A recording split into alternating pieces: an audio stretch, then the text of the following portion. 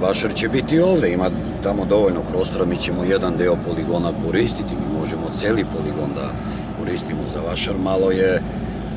ovde je bolje asfalt, jel tako, u slučaju kiše, bolji ovaj prostor. E, problem je sa električnom energijom, sa strujom, dakle svaka ovaj, tezga bude priključena, ovde nemamo te priključke, tako da će ovaj prostor koristiti oni koji su tu u toku dana ili uveče da koriste samo ovo svetlo od rasvete,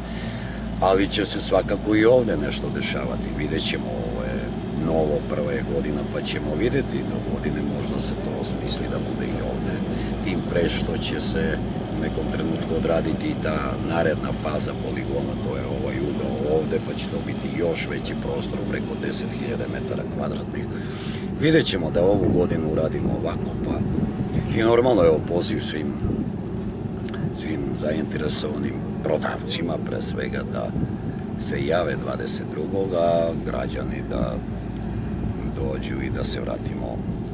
onim lepim vašarskim dešavanjima.